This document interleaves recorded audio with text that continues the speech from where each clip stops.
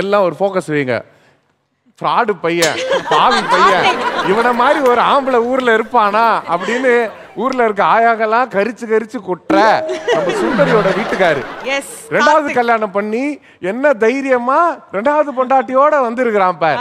கல் நெஞ்ச காரனே என்ன நியாயம் இது? முதல் பொண்டாட்டியை கழட்டி விட்டு உங்க ரெண்டாவது மனைவியை இல்ல எனக்கு ஆக்சுவலி கால் வந்த போது நான் தான் கேட்டேன். முதல் பொண்டாட்டியா இல்ல ரெண்டாவது பொண்டாட்டியா? மச்சக்காரையா நீ என்ன மாதிரி இருக்கணும்? பொண்டாட்டியும் இருக்கணும் வீட்ல வேலைக்காரியும் செட்டப் பண்ணி அப்படியே சைலண்டா இருக்கணும்.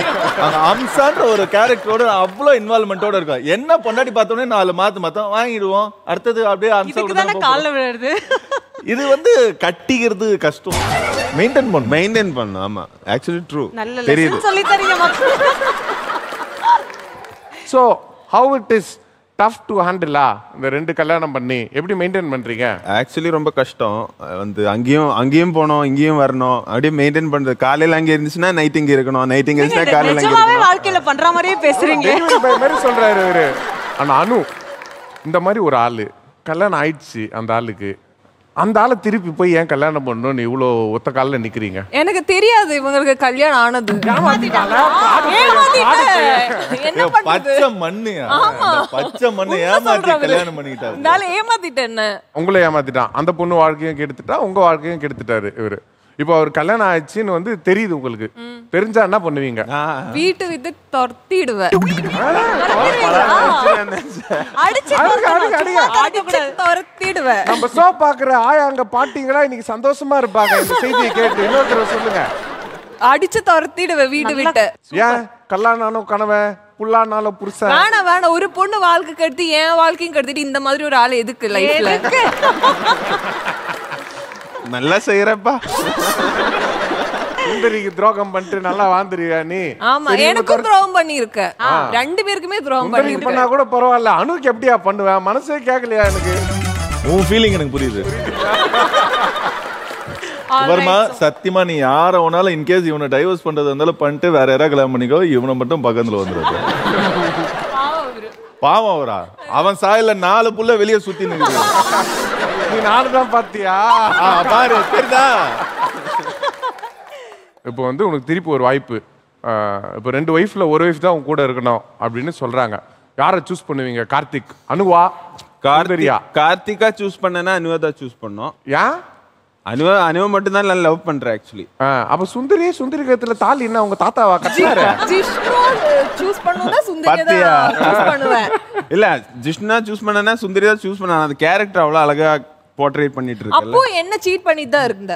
சுந்தரி இல்ல கார்த்தி நான் ஒன்னு ஒத்துக்கிட்டேன் ஒண்ணுதான் என்ன சீட் பண்ணல?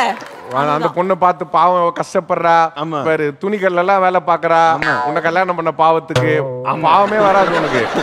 கட்சி வரைக்கும். நீ குஜாலா இருந்தா போதும் சந்தோஷமா. நான் இல்ல கார்த்தி கார்த்தி. அதான் கார்த்தி தான் கார்த்தி தான் வந்திருக்க.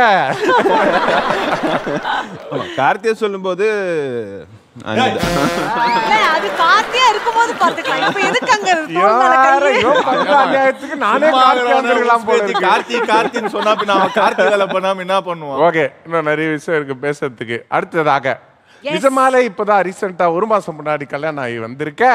சஹானா அண்ட் அபிஷேக். சொல்லுங்க. Welcome welcome to show first of all எப்படி இருக்கீங்க? எப்படி இருக்கு திருமண வாழ்க்கை? ஆ சூப்பரா இருக்கு. சூப்பரா இருக்கா? உங்களுடைய மனைவி வந்துட்டு ஆன் ஸ்கிரீன்ல ஒரு கேரக்டர் ப்ளே பண்றாங்க இல்லையா?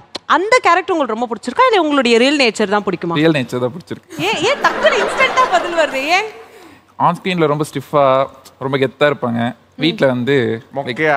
கெத்தா இருப்பேன்றியா? மொக்க பீஸ் தான் ஆக்சுவலி டம்மி பீஸ் தான். மொக்க பீஸ்னா என்ன என்னங்க மீன்? அது எங்க விட மோசம். இல்ல எப்படி இருந்தாலும் இப்ப சொல்லும்போது கரெக்டா இருக்கும் இன்னும் ஒரு ஒரு வருஷம் கழிச்சு கேட்கும்போது அப்ப வேற மாதிரி இருக்கும். ஸோ ஒன் மந்த் ஆயிருக்கா? ஆசை அறுபது நாள். இன்னும் தேர்ட்டி டேஸ் பேலன்ஸ் இருக்கு.